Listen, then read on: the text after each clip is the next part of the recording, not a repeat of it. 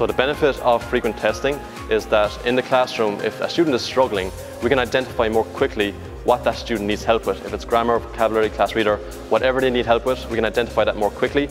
So frequent testing is definitely a must in the classroom.